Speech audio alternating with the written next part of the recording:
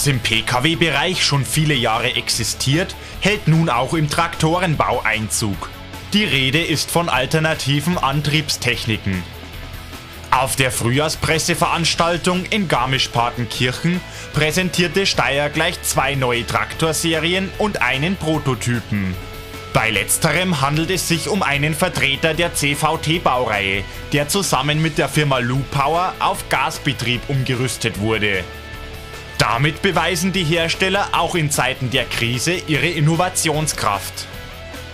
Wir haben Vertreter beider Firmen zu ihrem gemeinsamen Kind befragt. Das Konzept ist äh, ein Biogastraktor, der im sogenannten bivalenten Betrieb fährt.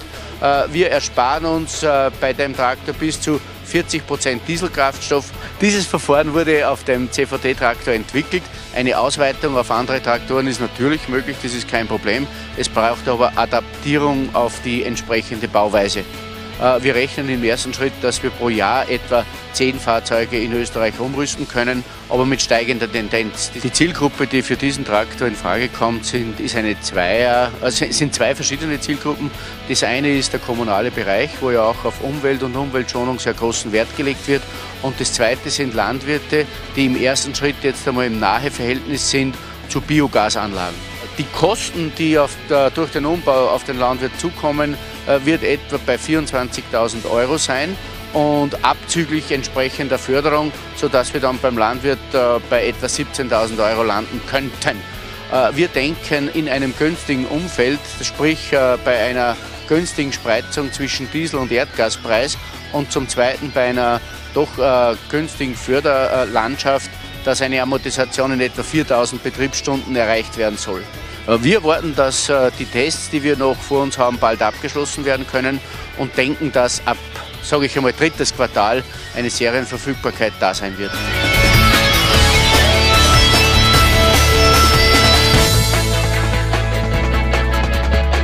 Herbert Spreitzer von der Firma Lupower erklärt uns die technischen Details der Umrüstung. Ja, die Komponenten im Wesentlichen ist eben das Tanksystem, das Tanksystem, das sich bei diesem äh, Traktor am Dach befindet, das dazugehörige Tragsystem, dann die ganzen Leitungen, die Ventile, die Sensoren, natürlich das doch hochtechnische Steuergerät und eben das Einblasventil. Das sind die wesentlichen äh, Komponenten der Nachrüstung. Bivalent äh, deshalb, weil ähm, Diesel weiterhin Zündmittel bleibt und das Erd- bzw. Biogas wird je nach Leistungsvolumen äh, dem Diesel zugemischt. Das heißt, Diesel wird im mittleren äh, Drehzahlbereich sehr stark weggenommen und im oberen Bereich, wo ich natürlich wieder eine Temperaturentwicklung habe, wird Diesel wieder vermehrt eingespritzt, damit ich durch den Diesel eine bessere Schmierung und eine höhere Kühlung bekomme. Der alleinige Betrieb mit Diesel ist auch möglich, hat den Vorteil, dass ich natürlich nicht so auf das Leerfahren eben des Treibstoffes achten muss. Wie gesagt, ich kann, wenn auch das Gas leer ist, mit Diesel im Prinzip weiterfahren. Also das Biogas muss die Qualität des Erdgases erreichen und muss mindestens 97 Prozent äh, Methan beinhalten. Wie bereits gesagt, äh, befinden sich eben die Erdgastanks befinden sich am Dach des Fahrzeugs. Das sind im Moment jetzt 85 Liter Flaschen eben mit, einer, mit einem Füllvolumen von 400 Liter Wasservolumen. Das Tankventil oder eins der Tankventil befindet sich hier unter der Eingangstür. Für eine bessere Flexibilität der Betankung haben wir zwei Tankventile montiert. Hier sehen Sie, wie gesagt, ein, das Herzstück oder eins der Herzstücke des Nachrüstkits. Das ist eben das zentrale, das zentrale Einblasventil. Das ist hier situiert.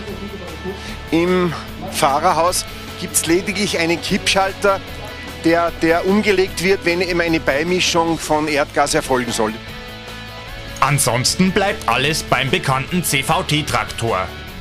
Wie viele Landwirte wirklich in die Umrüstung investieren werden, damit sie an ihrer eigenen Biogasanlage tanken können, bleibt abzuwarten.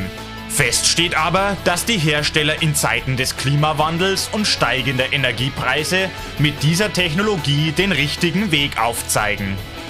Aus Garmisch-Partenkirchen Christian Leitner für Landwirt.com